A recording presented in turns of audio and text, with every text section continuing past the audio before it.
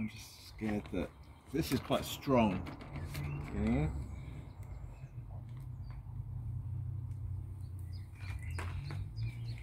Looks smooth as.